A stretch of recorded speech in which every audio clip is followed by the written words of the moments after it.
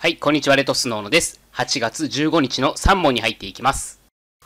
A の被用者 B と C の被用者 D の行為につき E に対して使用者責任を負うとき、A が損害賠償金を全額支払った場合、A は C に対して求償権を行使することができる、丸か×かという問題です。考えたい方は動画一旦ストップしていただいて、この動画の下の概要欄から問題文ご確認ください。え答えは、丸ですね。えまず、この状況を確認したいんですけれども、まあ、被用者は従業員ですよね。で、A の被用者は B だから、従業員 B の使用者は A なんですね。会社が A っていうイメージですね。で、被用者 D、従業員 D のえ使用者は C なんですね。で、B と D の行為で E が被害を受けたという状況です。B と D の行為で E が被害を受けましたと。で、B の使用者である A が損害賠償したんですね。全額支払ったという状況です。で、この場合、A さんは、使用者 A は、使用者 C に対して求償できるかっていうことが質問されているわけです。で、一応図を書くとこんな感じですね。従業員 B がいて、その使用者が A。従業員 D がいて、使用者が C。そして B と D の共同不法行為によって E に被害を与えちゃったという状況なんですね。そして A が全額賠償したという状況です。え弁済って書いてありますけども、まあ、賠償したと。全額賠償した。で、A さんは使用者 C に求償できますかというところが質問されているんですけども、これ求償できるんですね。負担割合って、これ、まあ、過失割合って考えていただくと分かりやすいです。B と D の過失割合に応じて求償できますよってことですね。まあ、今回の問題は、求償できるかどうかを聞かれているから、まあ、求償できる丸っていうので終わりなんですけども、どれだけ求償できるかっていうと、この過失割合に応じて求償できるよと、まあ、いうことです。まあ、イメージとしては、まあ、D さんの方が、まあ、過失の割合が大きかったと。D さんの方が責任重くて、B さん責任軽かったっていうのであれば、A は C に対して、え比較的大きい金額を求償できる、請求することができると、まあ、いったイメージですね。で、問いにですね、え、取引士、いわゆる宅建士です。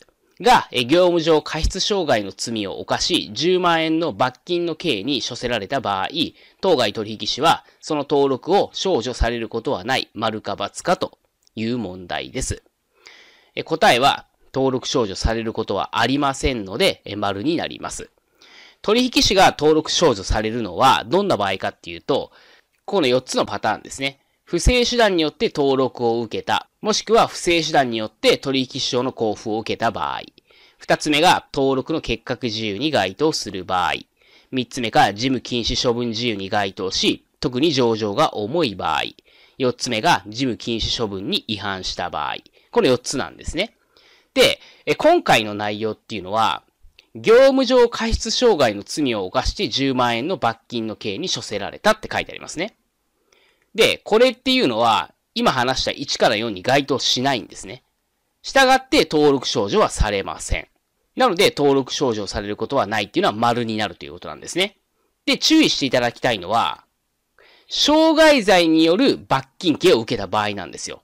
この場合っていうのは登録少女されます。どれに該当するかというと、この2番ですね。登録の結核自由に該当する場合、これに当たるんですね。傷害罪による罰金刑っていうのは、登録の結核自由に該当してしまいますので、登録少女処分自由に該当すると。つまり、登録の結核自由に該当するから、登録を取り消されますよっていう話です。ここの二つはきっちり対比して頭に入れていただければと思います。引っかかった方は注意してください。で、問い3です。土地区画整理法による建築行為等の規制に違反して建築された建築物等については、施工者は事業の施工のために必要となった時は、いつでも移転または除去することができる。丸か×かという問題です。え答えは×ですね。この施工者っていうのが誤りになります。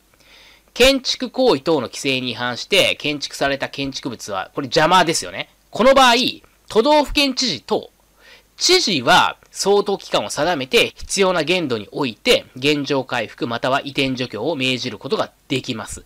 つまり移転除去できるのは知事なんですよ。施工者の権限で移転除去ができるわけではありませんので、ここは引っかからないようにしましょう。